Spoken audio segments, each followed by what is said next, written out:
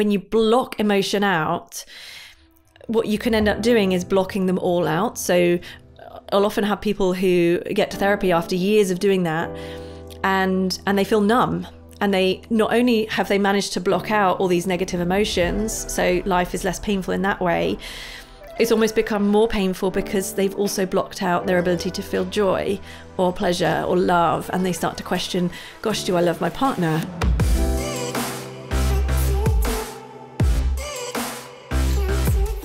Hey everyone, welcome back to On Purpose, the number one health podcast in the world. Thanks to each and every single one of you that come back every week to listen, learn, and grow. Now, today's guest is someone that I've been following on social media for nearly the past couple of years now, and I have loved her content, the way she presents ideas that are hard to understand in simple ways through incredible props and demonstrations.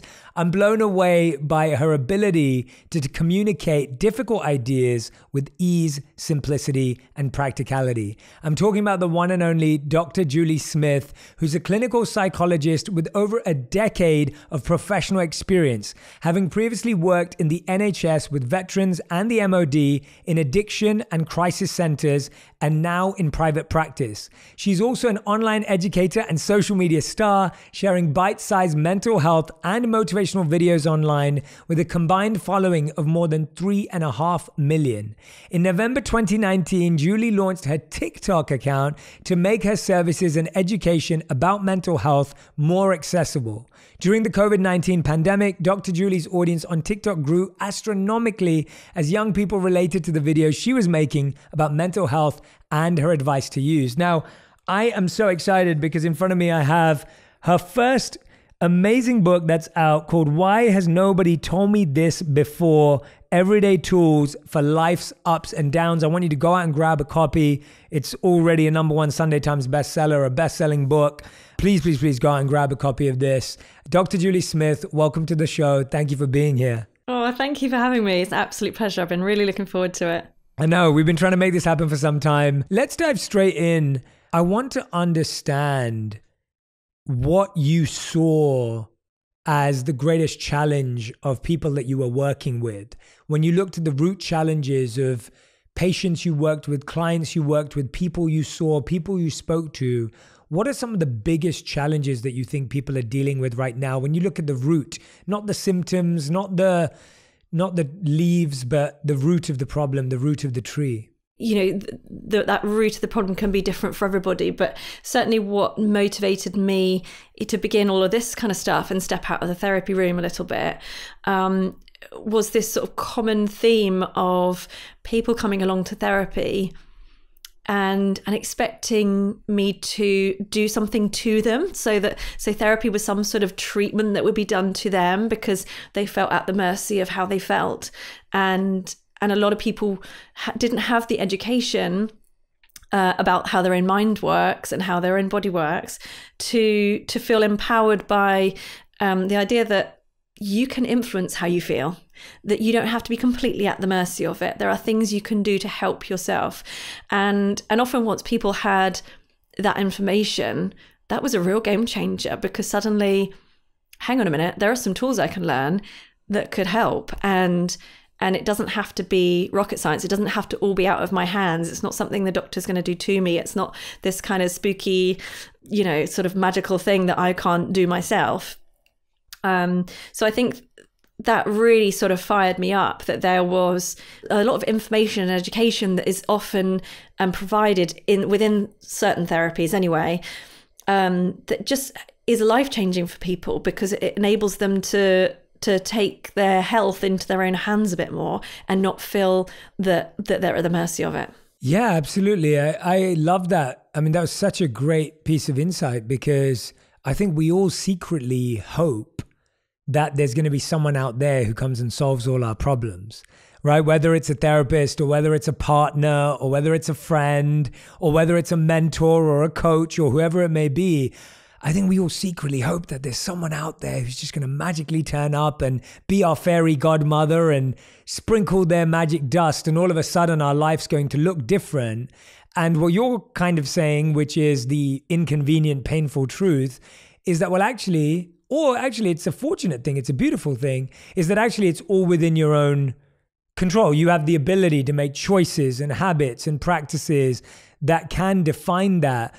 Why do you think it is that we are looking to outsource our well being or outsource our journey? Why is it that we're trying to say, fix me or solve me? Where does that come from? I think it comes from sometimes not knowing, not knowing that there are things you can do um, that that help, and and that I think there's a sort of culture around um, needing to, to to buy something to that is going to to fit. You know, it's good marketing. I think you know that lots of companies are based on making you feel like there's something wrong with you, and they can fix it if you buy this product off them, and and but also mixed in with the fact that there isn't enough education around uh, how your mind works and how you can manage your own health. We get a little bit of that around physical health, but nothing really in terms of mental health. And I kind of felt like, you know, all these people, once they were having the, some of these little bits of education that were really making this difference day to day, I was kind of thinking, why, why do people have to pay to come and see someone like me? to find that out because you know that's not obviously some people come for full therapy which you know is brilliant and helps lots of people. But there were a lot of people that were coming along, and once they had the education, they were raring to go. They that was enough, and and so I, I kind of wanted to make that more available. Absolutely. So for those of you who don't have the book in front of you yet, I know you will after this podcast. Uh, Dr. Julies talks about everything from moods to motivation to emotional pain to grief to self doubt to fear to stress to meaning, uh, all beautiful themes and topics. And we're going to dive into a few of my favorites. Uh, from when I received her book over the holidays, I really wanted to talk about mood, and I want to dive in with you now. I think mood and a low mood have become such common experiences now. And the idea that we have certain days where we feel good, and there are certain days where we just feel bad and unmotivated, and we don't want to get out of bed, and we don't feel like doing anything. How do we, how should we be, be approaching those days or those weeks that start to feel like we're stuck, we're not moving, nothing's happening in our life? How should we approach that feeling and emotion? Well, I think it starts with understanding that it's a normal part of being a human being. Um, and I think that's often something that holds us all back is, you know, there's this sort of, um, I don't know if it was something that's been sort of pushed by you know social media or anything like that but it's definitely online is this idea that um, that somehow our default is one of happiness and contentment and anything outside of that means you're getting something wrong uh, which is just absolute rubbish. You know that um, human beings are built to fluctuate, and, and emotions come and go. The, the pleasant ones come and go, and the unpleasant ones come and go as a part of that experience, and that's a normal. And you know, if you if you wake up and and your mood isn't as you want it to be, uh, that can be caused by so many different things. You know, you might not slept well, you might be dehydrated, you might um, be dealing with something normal like grief or there could be anything. Um, but if you wake up in that mood and then respond to that mood by telling yourself that you're failing at life because you're not as happy as everybody else, or, you know, look at that woman down the road who's always energetic and always enthusiastic and she must never get a terrible mood like this and what am i getting wrong and and we get into that narrative that that pulls us further down that spiral rather than allowing us to kind of acknowledge this feeling is here allow it to be present and allow yourself to also then question what what could be causing this. So what are my needs? Are there any needs that are unmet? And can i meet those that could help? Um, and you know it sometimes it is just a matter of of doing what you can to to meet those needs if if you can identify any and then allowing that to to calm naturally. Yeah no i, I like the idea of meeting your needs because i i think what's really interesting about what you just said is that so many of us are almost judging ourselves or critiquing ourselves for running out of energy. And it's almost like looking at your phone on 3% and hating your phone for being on 3% battery life. And it's like, well, no, a phone is either going to be 100 or 90 or 80 or 70, and it's going to get to three or it's going to get to one if you don't recharge it. And it's the same thing with us. Like you're saying that as humans, our emotions fluctuate, our moods fluctuate. We're either at 100% or we're at 3%, but we can't start hating ourselves at 3%. We can't start judging. We have to go, okay, I need to stop and recharge. I need to stop and take a moment. And that's where your question of, okay, what are my unmet needs? It's almost like, okay, well, what do I need to do to charge me? That feels like the right way to think about that. I think one of the biggest challenges, Dr. Julie, you've probably seen is that people try and avoid low moods. We're trying to avoid feeling bad. We're trying to avoid feelings. What happens when you try to avoid an emotion or when you try and avoid feeling? What actually happens to us? Yeah, well, it can get quite extreme. You know, if we um, we have these kind of blocking behaviors. So if a if a feeling um, is aversive in some way, whatever it might be, um, if we if we as soon as we start to feel it or even see signs of it that it might be approaching we we put in those blocking behaviors. And so i don't know you might find yourself with your head in the fridge looking for something to to eat or you might find yourself um, you know on netflix just watching program after program or or drinking or whatever that blocking behavior is for that person or maybe staying really busy at work um, and trying to convince yourself you know that you've got all this energy or whatever. Um, but when you do that when you when you block emotion out what you can end up doing is blocking them all out. So I'll often have people who get to therapy after years of doing that and and they feel numb and they not only have they managed to block out all these negative emotions so life is less painful in that way it's almost become more painful because they've also blocked out their ability to feel joy or pleasure or love and they start to question gosh do i love my partner um, you know I, am not interested in all the things that I used to find pleasurable. And and there's this kind of numbness. And people imagine that I mean, there's this sort of you know emotions have this bad rap don't they? Where um, they're apparently this kind of irrational mess that you need to stay away from in order to be a highly functioning individual um, rather than it being a, a part of how we work. And so you know by by pushing all of those away and trying to stay away from them with the idea that we'll somehow be kind of logical beings actually being devoid of emotion uh, strips away your life in terms of your sense of meaning or your enjoyment from life. And so that idea that, you know, if you block one emotion, well enough you'll also block a lot of others and then and then you can really start to struggle um, so a lot of what we do in therapy is you know changing our relationship with emotion is is looking at how can we allow emotional experience to come and go and not only accept it, but also welcome it. You know, how could you allow fear or low mood or sadness to be there and let it be welcome in the present moment. I mean, that's just a bizarre um, kind of state of affairs, right? How you know we've never been taught to do that. Um, you're taught to kind of brush it off and and pretend it's not happening and make it go away.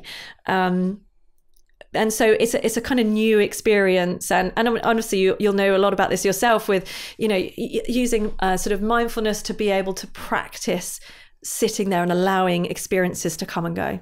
Yeah no I, I think the biggest thing i took away from what you shared just there is this idea of blocking behaviors that seem like very normal behaviors and they seem very easy and accessible and they feel like they make sense. They look normal because a lot of people do them. And then when you really break it down and you go, oh, yeah, wow, that's a blocking behavior. I'm actually trying to just numb myself from feeling things. And I love what you said, where you were like, well, actually, if you numb yourself from feeling something, you potentially could numb yourself from feeling anything, like everything, a lot of other positive emotions as well. And so by weakening your ability to feel pain, you actually weaken your ability to feel joy. And and that idea is really fascinating because that as a block is a block that we all know we don't want in our life. Um, that that's you know I, I've loved that you've given me that reflection today because I, I, I didn't necessarily connect the two in that way. When when you talk a lot about motivation in the second chapter, and I'm glad that you touched on motivation because I know, and I'm sure you get this too. I get so many DMs on a daily basis or messages saying, like, I'm not motivated. What do I do? How do I find motivation? Uh, I don't feel any motivation today. And one of the sections in your book that I loved is called How Do You Make Yourself Do Something When You Don't Feel Like It? And it's really funny because someone asked me recently, they said, Jay, what do you think is the greatest skill you can have as a human? And I really thought about that. I was like, what is the greatest skill that you could have as a human? And the idea that came to my head was the greatest skill you can have as a human is being able to do something that's good for you, even when you don't feel like it. Because that is the crux of life. Like the amount of days that I wake up and actually want to go to the gym are very, very few. But do I feel amazing after going to the gym? Yes. Meditation's been a part of my life for a long time, so it's changed. I have a healthy relationship with meditation, but there are still days when I don't want to meditate, or I'm too tired or exhausted, or I'm too I'm I'm too bored to go to sleep early, and so I'd rather think that maybe if I stay up a bit late, I'll be more entertained. And so I find that things that are good for me feel hard in the beginning, but feel great afterwards. And things that are bad for me feel easy in the beginning, but they're really bad for me afterwards. Talk to us a bit about how do we get good at doing things when we don't feel like it? Because I am completely with you. I, I think that's like an undefeatable skill that we all need. Uh, yeah, absolutely, and and I agree with what you were saying there. You know, it's that that sort of motivation feeling, that sort of elevated energy, um, inspired feeling that you get is the feeling you get as you walk out the gym, not as you walk in generally. And yeah. and it's it's after action and effort. You then think, you know, I, I I never sort of feel like going to the gym either. And I but when I when I come back from the gym, I think oh, I should do this every day. This is great. and and uh, I think it starts with recognizing that pattern, doesn't it?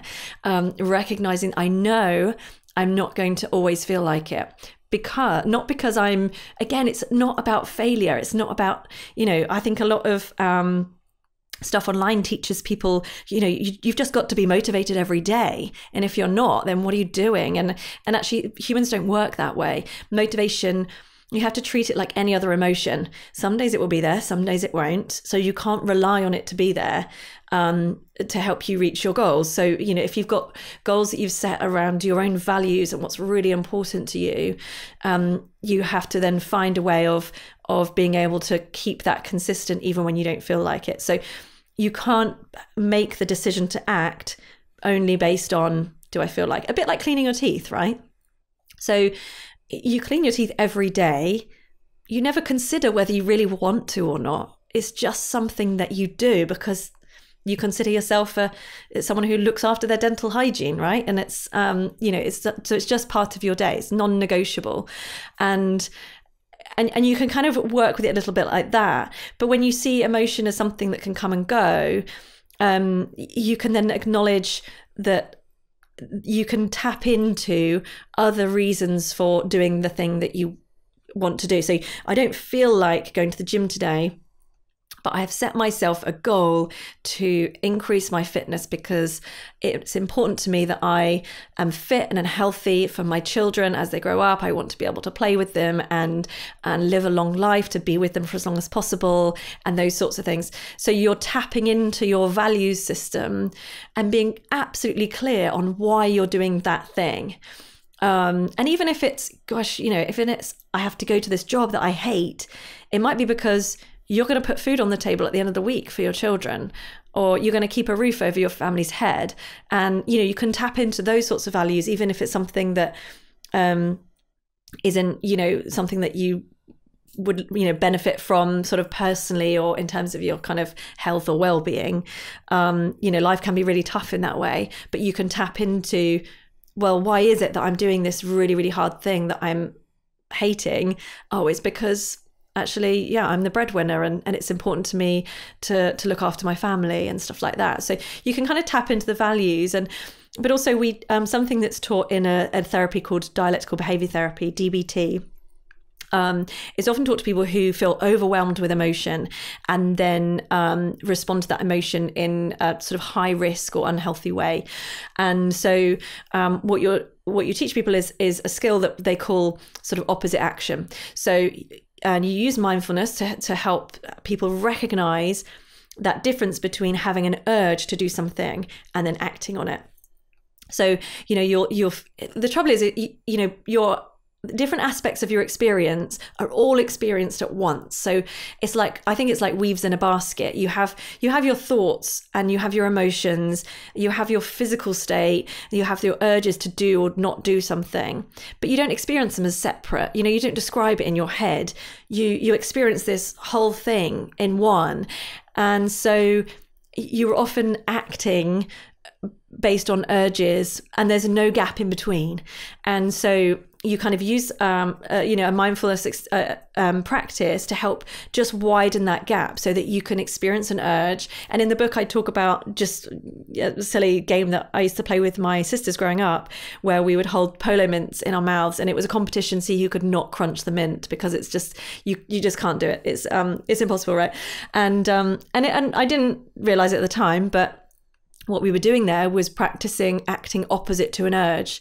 Um, you know, you have this urge to crunch down on the mint, but you learn that actually I can experience that urge and not act. And I can even do the opposite to that. You know, you can. So you get this moment to choose, and and uh, you know you'll be an expert on this yourself. But the, you know, mindfulness helps to open up that that gap that allows you to then choose whether you're going to go with an urge or go opposite to it. You know, so if you wake up and the urge is to pull the duvet over and switch your phone off and shut the world out for the day, uh, you get this choice. Okay, do I go with this, and or do I act opposite to it? And and often you have to make that decision pretty quick um, to kind of you know really kind of make the most of the moment. Um, but it's it's a great thing. You know, you can use things like the sort of the mint uh, crunching competitions to to just kind of practice being aware of that and and in kind of light-hearted ways, so that you're more skilled at doing it when you most need it. Yeah, thank you for sharing those two two massive insights. The first one was you talking about how we shouldn't rely on motivation. I, I thought that was such a great way of phrasing it that we're reliant on motivation and we can't be reliant on any feeling because we we're going to feel different every day. And the problem is we're trying to create the same feelings every day. And you're spot on that when I think about my life, I don't feel the same today recording this episode with you as I felt the same recording my last episode with the other guest. I feel different. And so I can't rely on how I feel. I have to rely on why I'm here and why I'm doing this and why I'm trying to serve my community and why on purpose listeners want me to show up at my best and I want to show up for them and and that's what's driving me not not how I'm feeling right now and so almost being driven by something else and then coming to what you just said is that difference between the urge and the ability to take that space and time to respond. And in the spiritual texts, when we studied that about the mind, the three words were thinking, feeling, and willing. So being like the diff the, the the gap between thinking and willing, like from having the thought to actually doing it, you you have that gap that can that you can adjust and edit and change. And and you're so right that we almost need to create that gap in areas of our life where we're not trying to practice it, if that makes sense. So, what I'm trying to say there, and I'd love to hear your thoughts on this, Dr. Julie, is that if you're trying to wake up early in the morning, don't practice trying to create this gap between the urge and pulling the duvet over in that moment. Practice it outside of the moment so that then you can bring it into that area. Whereas if you practice in that area, chances are your default action is going to come across. Does that make sense? And how could you build that conditioning in another area of your life? Yeah, absolutely. I would say practice with things that feel easy and manageable just to just create some repetition in doing that. And actually, you know, nobody will be starting from scratch either. You know, there will be times when you use that skill but you just haven't recognized that you've used it. And sometimes I think becoming aware of when you use it and it's successful um, helps you to to feel more positive about the fact that you can do it. So um, I don't know. Yeah, I've got young children, so you know, uh, sleep deprivation is you know torture, and you the you know your baby will wake up for the sixth time in a night, and you've got to be up at six for work, and and you hear them cry, and you think. I just cannot get out of bed one more time. And so your body is telling you, no, I can't do this. in a very powerful way, but you do it. And and you do it because you have a set of values about the kind of parent you want to be and you know and so you know, in those instances, for example, you will be doing things, or it doesn't even have to be at night. It could be anything. You know, you might not feel like making another sandwich, or um, you know, buying another load of ice creams, or whatever it is for your family. But you you do things because you maybe have a set of values around that, or something's important to you about that, and and so it's really useful, I think, to kind of sit and think about the times when you already do that to success um, so that you can really tap into that and recognize that therefore it is possible to translate it. And like you say practice in a in a way that is enjoyable and manageable and you know even with the the polo thing or um, you know kind of mindful eating and stuff like that you know where you kind of pause and and experience uh, food before you allow yourself to then uh, move forward and eat it for example or just kind of light-hearted things that feel easy. Because like you say the first time you do it it probably won't go well and then you think oh this doesn't work move on and then you're stuck in the same cycle yeah i i love that have you actually done the video have you done a video on the mints experiment I, I think it's such a great one. That no, makes, yeah, no, I haven't. Yeah, it would be it would yeah. be good to see you do it with your sisters again. That would be that would be amazing. Uh, yeah, I, I, I love that one. I, yeah. Th- I think it's. Uh, or it's maybe a, you can come and collaborate when you come to the UK. We will do. That's what we'll do. That's what we'll do. We'll, yeah, you can we can do the test together. I love that. One one of the other things, Dr. Julie, actually, this just came to mind while you were talking that you spoke about was that we just feel this rush of everything at the same time. Can you help my community today and audience today to understand the difference between thoughts, feelings, and emotions? Because we feel them all or we experience them all is a better word. We experience them all at the same time. And like you said, we don't label them effectively. We don't even know the difference. And we use the words interchangeably today. And that's probably not healthy either because then when we articulate, I think language is just so important. And the way we articulate how we feel or an emotion if it's incorrect in the sense of how it works as a system, we're already setting ourselves up for more difficulty. So, could you just break down for us the three and how to know the difference when we experience them? Sure. So, um, certainly, I would say. Um, some people can tap into more easily one over the other. So, some people will always be able to identify what they think, but can't sort of label feelings or something like that. Or some people will be really tapped into how they feel physically in their physical state, um, but won't necessarily recognize thoughts. And that's normal and that's okay. In terms of thoughts, I often talk to people about it's that you know the description the narrative that's going on in your head the way you talk to yourself in your head or the the different sort of words that pop into your head or images even. Um, so it's that kind of you know how you talk to yourself in your head. Whereas emotions are, are, are feelings and sensations that you have and and then you kind of we often separate that from sort of physical sensation and therapy so we'll talk about your physical state so you know where you feel things in your body and how your body feels at, at certain times and then behavior being um, I often split behavior into urgent action for reasons that we've been just talking about to get people to recognize that you might have an urge to do something, but you might not do it. Um, and so, you know, you know, actions are what we do or don't do um, at any given point. But you might be able to elaborate on those yourself, actually. I mean, how would you kind of describe emotions? Yeah, no, the difference that I've at least um, understood, and, and by the way, I, I love what you said the way I've heard it being explained is that feelings are our experiences of emotions. So, emotions are something that is chemically, biologically, physically happening. And then how we feel about what is happening is our feeling. So, for example, if my body is uh, feeling exhausted, if my body is tired and the emotional experience would be, you know, low energy, the emotion, the emotional experience would be uh, fatigue, etc. We know what's happening with the chemicals in that space.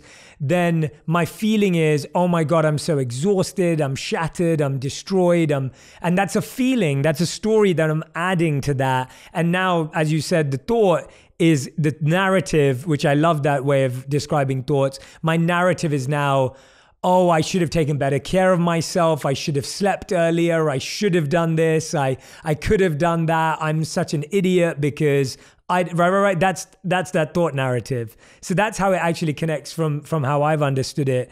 Uh, and it's made sense to me because I think a lot of stuff is happening biologically and chemically that we're then adding an emotional feeling and layer to that isn't helping because we get stuck in our head with something that's actually quite physical, if that makes sense.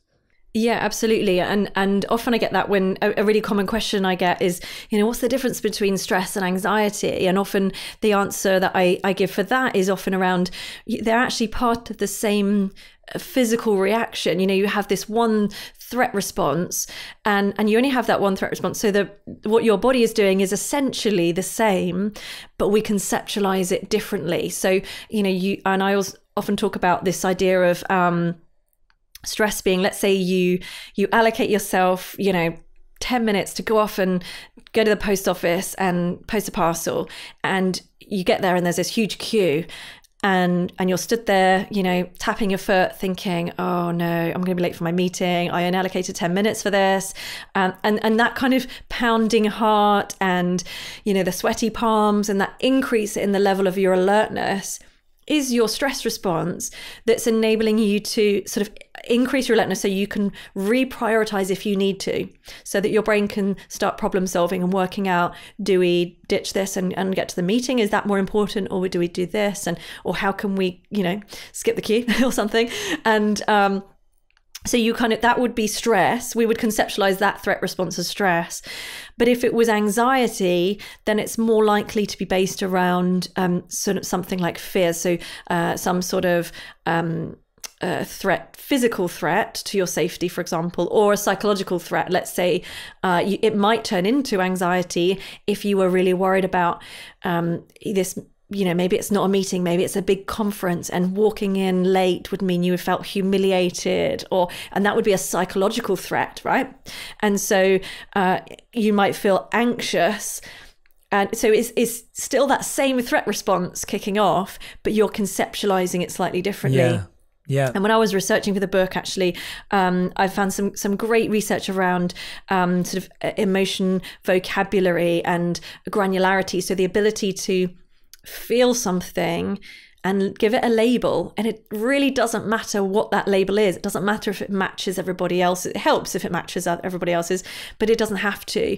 The more labels you have for different feelings that you have, uh, the, the better your outcomes in terms of how you're then able to deal with it because you're you're just giving your brain a little label that says okay i recognize this. I know what to expect from this. Exactly. I, I love that and i'm so glad that you brought that up because i think that diagnosing something is what makes it easier to deal with. If you if you don't give something a label you're now dealing with uncertainty again and i think with a lot of anxiety and stress we have repetitive thoughts and repetitive feelings. It not it's not necessarily a new thing.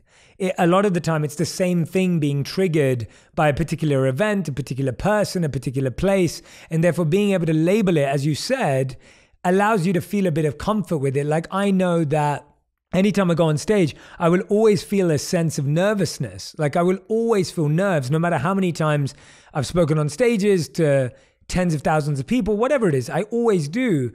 And as I got more used to that, I just started to realize that's what happens when I care. And I was like, that's what happens when I care. That's what happens when I really am genuinely present with that feeling of this is important, this is meaningful.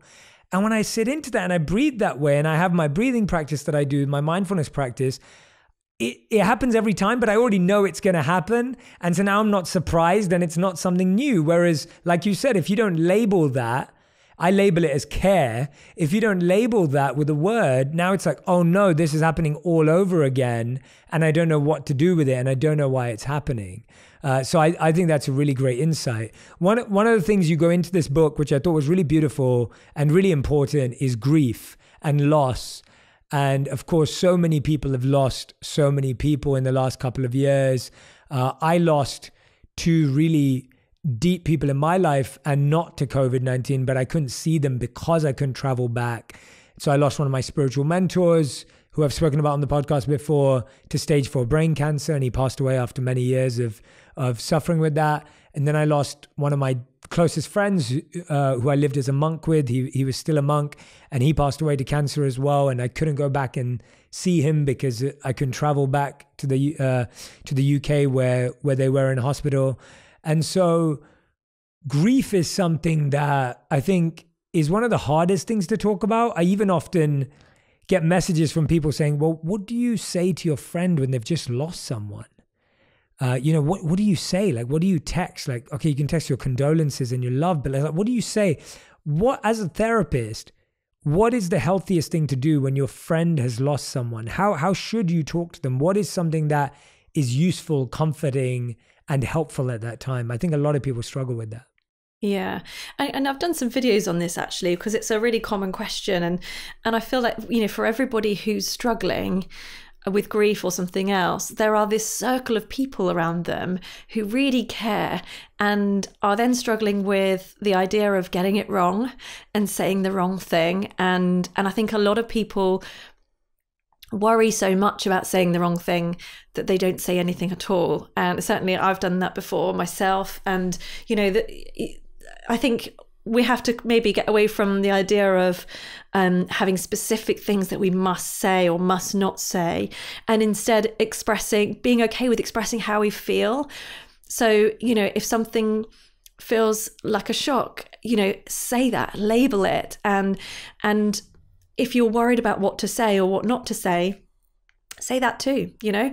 I, wow i'm you know i'm feel so sad for you. This is awful. How i, I really want to be there for you um, but i have no idea how or what to say um, and, and, then you know if you go with how you feel in terms you probably want to know how they're doing and so ask those questions and and maybe make those you know if you want that person to feel able to open up maybe ask open questions you know that aren't going to um, open questions are questions that invite an answer that's longer than a yes or no answer. So, you know, if you ask it, are you okay? Someone will go, yeah, fine. Um, but if you ask, how are you doing?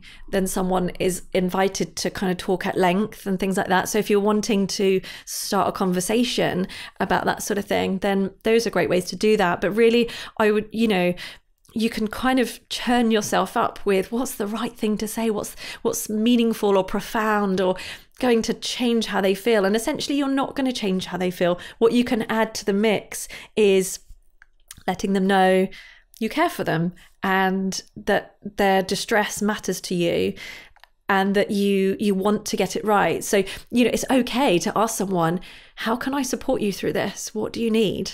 Um, because often those people will have an idea about what they need um, and and often it's just checking in isn't it? And knowing someone's there to support you. I mean what are helpful things that people have said to you? You know what's really interesting is that i i don't think I don't think a lot of people did say anything to me, um, and, and not that I, I needed them to. I, I'm a I'm an interesting person with certain things. Like I find when I go through pain or stress or anxiety, I like sorting it out myself. So I'm not much of a I'm not much of a talker when it comes to certain things, apart from if I'm working with a coach or a therapist or or, or someone who who I trust is helping me make sense of something. Um, and so, but I, but I, I agree. I mean, I agree with everything you just said. I, I think that the biggest thing that I think you said is the problem is when we speak to someone in pain, whether they're in grief, whether they've just broken up, whether they've been through a divorce, or whether they're experiencing anxiety, the biggest problem is we're trying to say something that we hope will change how they feel, which is not going to happen. It's too much pressure on you, it's too much pressure on them. It's just not going to happen. And I remember when I first started coaching, and I'm sure you feel the same way as a therapist, and I don't want to speak for you, but I know that I used to carry that pressure around that I had to say something profound in every meeting, and that every connection you have with someone, you have to drop these pearls of wisdom that are going to solve their life and be like this opening magical doorway. And you just realize that now you're not even listening to them because you're working so hard to come up with this false piece of insight that's going to help someone. And that actually, if you just sat and listened, and like you said, asked open questions and were just present, that's what that person needed more than ever. And I think I'm segueing a little bit, but even in our romantic relationship, in our friendships, the problem is we're always trying to say things that we hope will change how people feel. And the truth is, we don't have that power. And trying to have that power creates so much pressure and burden on you that you feel so weighed down by it that, like you said, you don't say anything, or you try and say something and then you're upset that it didn't change how they feel. So, that to me has been the biggest takeaway from from what you just said and hopefully I've, I've just illuminated some of my thoughts on that yeah, I think, and it's interesting actually how how things work in therapy. You know, someone might go to therapy for the first time and imagine that they're going to take this feeling in, and the therapist will say something that will make it go away. Um, and actually, what you do as a therapist is sit with them in it, and yeah, uh, you know, you kind of if someone's let's say someone's you know in a hole. Um, I think Brene Brown did this. Um, example really well uh, when she did a sort of example of the difference between sympathy and empathy. And, you know, instead of kind of standing looking down in the hole and saying, wow, that looks terrible, in therapy, particularly, what we do is get down in the hole with them and say, yes, this is this is really tough. How are we going to work on this together? And you know what's next? And so, you know that there's this real. I think when someone is grieving, it's okay to just be with them through your pain, like the, through their pain. So there is no way that you can remove that pain. There's no way that you can bring the person back or make it disappear or fix it. But you underestimate the power of simply walking alongside someone through it and allowing them to just feel heard and cared for. Nobody really wants to be told what to do. They want to feel heard. They want to feel that they matter and that how they feel matters. And that in itself has such a profound impact over time um, but you know building that kind of trusting relationship with someone is huge so yeah take away those expectations to be some kind of you know healer or you know fixer upper and and just work on being a really good friend to someone i want to segue a little bit dr julie with what we were talking about the idea of relationships and romantic relationships and love and breakups because a lot of the emotions we feel a lot of the feelings we experience are based on our relationships around love. And so, whether it's the feeling of losing love, never getting love, never finding love, not being lovable, not being enough, not knowing how to love, like there is a lot of anxiety and stress around that, as you're well aware, and as you know, in our work, we come across a lot. When when you look at that, when you look at the feeling of I am trying to find someone to solve the void I have within myself, or the idea that if I find someone, then I'll be complete. If I find someone, then I'll be whole. That how do you work with some? And I know that it's case by case, and of course, I'm giving a broad question, but with that, how do you work with someone who you notice that that is a trait that they have? like how do you work with that kind of an individual who has that kind of a trait well i, I guess you you work with someone based on um, the idea that if they haven't met that person yet that you can't guarantee they're going to come along. So you have to start taking responsibility for your happiness. And and while actually you know getting in relationships can be really helpful for people's well-being and you know that the changes that, and the development that you go through by being in a relationship can be wonderful and really healing in many ways. But you don't ever want to put the responsibility for your own healing or your own happiness in that other person's hands so i would say you know in working with someone um, who was maybe kind of dealing with that idea that they were sort of waiting for someone to come along in order for them to then be happy, um, it would really be about looking at growing your life as it is now and making that more meaningful for you, more purposeful, based on your own values, and and really looking at that relationship with the self. So looking at how you know if someone sort of feels unloved, for example, um, how are they treating themselves? You know what are they are they not being caring and loving to themselves or treating themselves well? And and so a lot of therapy would be looking so you know reflecting on that relationship. Um, but there's a lovely uh, therapy called cognitive analytic therapy. It's CAT for short and that looks at how um, the the relationship, the early relationships you have in life, so with parents and siblings, can then be reflected in our relationships that we have as adults. So you might have um, been in a slight, you know, no family situation is perfect. So there will have been situations that weren't ideal at some point. And as a child, you would have worked out how to get through those and how to survive them psychologically with certain safety behaviors, for example. Um, let's say a parent was sort of inconsistent with love, you might have learnt to be a real people pleaser to make sure that you you made sure they felt okay so that you could feel acceptable. And then you get into relationships as an adult, and that habit of being that people pleaser continues, perhaps, but then causes you to do that to your own detriment. So maybe you're working so hard on being astute to everybody else's feelings and making sure that everybody else is happy that actually it's making you ill because you're not looking after yourself, for example. So, and, and those therapies can be really helpful in looking at where did this cycle come from you know and if it's something around looking for somebody out there so that you can finally be happy then you can really break that down to where, where's that coming from and and how can i fix that cycle in a different way so that i'm not dependent on this um, this person coming along and fixing it? Yeah that's so great. So often we're fixing the wrong wrong end of the cycle right? We're just trying to solve the the the current feeling the emotion the situational problem right now. And you're like well actually let's look at where the cycle started and how that mindset got formed and how that behavior got formed and how that desire for validation got formed. And actually, if we solve that, then we can we can see this completely differently. And that, I mean, to me, that's that's really where it all has to go. I, I've seen so many bad habits in myself that I picked up years ago in my childhood and beliefs and bad habits. And that now you're like living them through as an adult and you look at yourself and you go oh wow like i just thought this was normal but it's it's not and it's not healthy.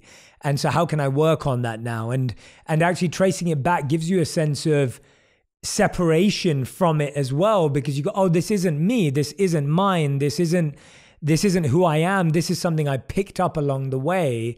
And that distance is really helpful to say this isn't me. This is not this is not all about me uh, doesn't mean you're blaming it on someone else, but you are saying that let me distance from this so I can actually, so I can actually deal with it and work through it. Uh, when you wrote this book and you titled it beautifully, why has nobody told me this before? Uh, where do you think mental health and well-being are going over the next few years? You know, when I think about things like Web three, the metaverse, uh, when I think about obviously social media is continuing to grow. When I look at even people like yourself, who've, you know, obviously been able to communicate these ideas so phenomenally well through TikTok, you know, we we both know that social media can be an amazing tool to reach out to people, to connect with people, to serve people, to help with people. Uh, but when you see people navigating their mental health and well being moving forward, what do you think are sustainable daily practices that we need to implement in order to live in a world that is technologically accelerated and advanced and isn't turning around? It's going to sound really boring, but um, a bit of self awareness, which can come through things like journaling, something quite simple like journaling experience that allows you to stop and reflect on experience and you know that's a, a, smaller scale of of a, a, little bit of what happens in therapy. And and you know we are talking about those cycles then and the way you become able to tackle a cycle that you're stuck in is by first becoming aware of it. You know if you if you're not aware of what the problem is how do you even begin to think about solutions? And and so you know even with this kind of fast-paced world and everything's online and and our attention is being kind of stolen from us left right and center the ability to step back and focus on you and your life for a moment is really a victory. And and so I'm a I'm a sort of big um, advocate for sort of journaling and things like that. And even before I sort of did any clinical training I, I look back and when I was sort of growing up any time that I was struggling with different emotions that I couldn't make sense of, or a situation that was kind of troubling me. My, I'm, I'm like you. I'm not a big kind of talker, or I'm, I'm very introvert, and I spend time alone. My thing would be write it down, and if you write for long enough, you can begin to sort of make more sense of a situation. And that's really what we do in therapy when we're talking about those cycles. We literally map them out. So we write out what happens then, what happens next, what happens next, and then it comes back around. So you you literally get yourself a, a map in front of you, and by doing that, you get this separation.